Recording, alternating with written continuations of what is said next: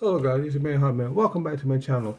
I did upload this video earlier, but YouTube told me I had to take it down because I showed off the little video clip. Um, so gave me copies fight, so I did take down the video. Here's the here's the three figures right here that you um did if you didn't get did not get a chance to see them. Um, right there, if you saw the statue review, um, this pretty much um the, the um the action figure version of the statue. Pretty much how he looks. I'll you how he looks in the animation. Um, this is how she looks. Uh, I can't say Ichi. Oh, okay. I'm trying to say that name correctly. And also from the DC line, you have um for the metal. I'm sorry I say that correctly. I threw everything else away. So the only thing I did, the only thing I did keep, guys, with the um was the card. And where I do the card? I put it in my, oh, here you go. Here's the card. I was putting everything away. I had everything put up. Let me take the card out and show you, show you guys the card.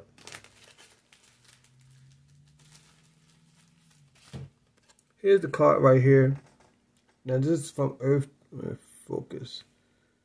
It's from Earth 2 Batman. It's called Dark Knight Metal. Here the information on her. Try and get in focus so I can read that.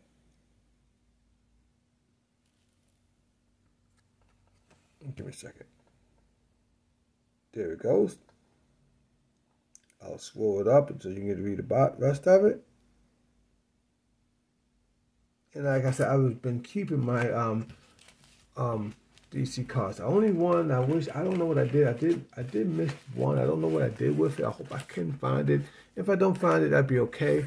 Um, articulation is pretty much the same all across the board. The only thing different about her, she doesn't have no articulation in her mid mid section. Um, she do have articulation in the um lower foot. Um, she does have articulation in the in the toes. Um, head is hindered a little bit from the hair. His he has chest, double elbow, knees, and also toe and ankles. Same with her, but at the bottom of her, she doesn't have any of that. It's where this piece is. Um, this is a changeable piece. You can take a piece off like a wig and you can show it. And that's pretty much, guys. I'm going to upload this video. I'm going to leave it alone. I'm going to get me some dinner. So everybody have a good day. Good night.